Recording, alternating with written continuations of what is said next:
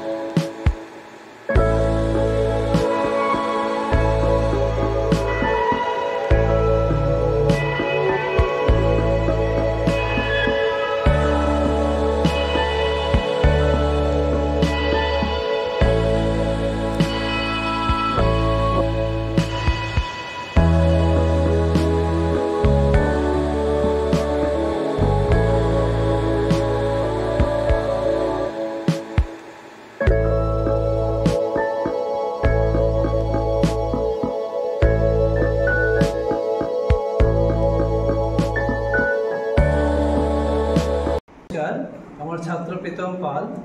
সে শিলচর যুবনিকেতনের ছাত্র। মধ্যপ্রদেশের ভূপালে অনুষ্ঠিত ন্যাশনাল ইয়োগা অলিম্পিয়াডে সে আন্ডার ফোরটিন ক্যাটাগরিতে সে সেকেন্ড প্রাইজ সহ, অর্থাৎ দ্বিতীয় সহ রৌপ্যপদক পেয়েছে, যা আমাদের এই জেলা, কাছাড় জেলা, বরাক উপত্যকা সহ আসামের জন্য একটা আমাদের গর্বের বিষয় যে ন্যাশনাল যোগা অলিম্পিয়াডে এই প্রথম শিলচর থেকে প্রীতম পাল, সে একটা বিরাট সাফল্য নিয়ে আমাদের জন্য এসছে। প্রীতম পাল ছোটবেলা থেকেই, পাঁচ বছর বয়স থেকেই শিলচর যুগনিকেতনে সে প্রশিক্ষণ নিচ্ছে এবং সে বিভিন্ন সময়ে বরাক উপত্যকায় বিভিন্ন যোগাসন প্রতিযোগিতায় সে সাফল্যমণ্ডিত হয়েছে এবং গত বছর সে করিমগঞ্জে অনুষ্ঠিত বরাক উপত্যকা ভিত্তিক যোগাসন চ্যাম্পিয়নশিপে সে চ্যাম্পিয়ন অফ চ্যাম্পিয়ন্স হয়েছে।